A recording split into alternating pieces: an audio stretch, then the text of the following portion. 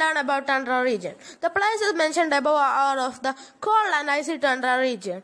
The tundra region is a treeless plain. The tundra region is where the subsoil never melts. It is permanently frozen. This is called permafrost. Only a few centimeters of the topsoil melts in warm weather. The tundra region covers about one tenth of the surface of the earth. The tundra region lies mainly in the Frigid zone that is between 60 degree north and 90 degree north or the Arctic Circle in the northern hemisphere.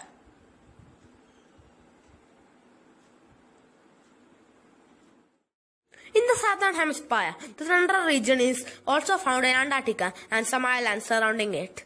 In the Antarctic Circle, the tundra region is permanently frozen. This is called permafrost. Tundra region is located at the extreme north and south of the earth, near the two poles, the North Pole and the South Pole. In the North Pole there is 60 degree north and 70 degree north, and in the South Pole there is 60 degree south and 70 degree south in the North Pole and South Pole. Very few people live in the tundra region. The people who live here are the Inuit of Alaska.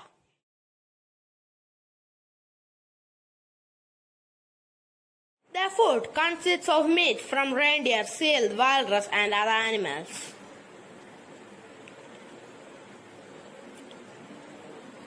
They do not eat any vegetarian food as it is not available locally. They use boats called as kayaks.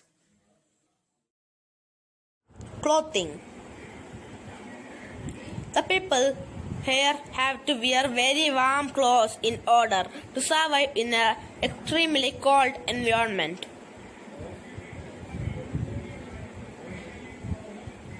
They wear animal skins, hides,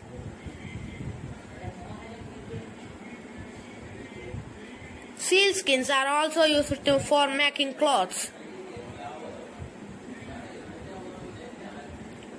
Hoods over their heads. Gloves on their hands.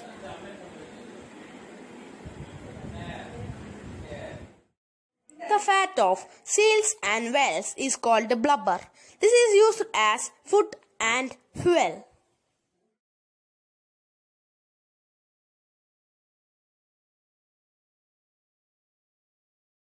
A special breed of dogs called the husky is rare to draw sleds.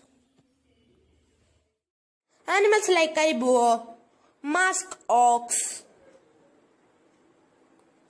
Arctic hare,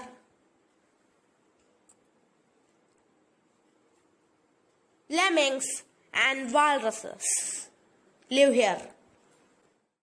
The tundra region does not have any trees. The land is barren like a desert. During the short summers when the topsoil thaws, some small plants like lichens, mosses, grasses and a few shrubs grow here.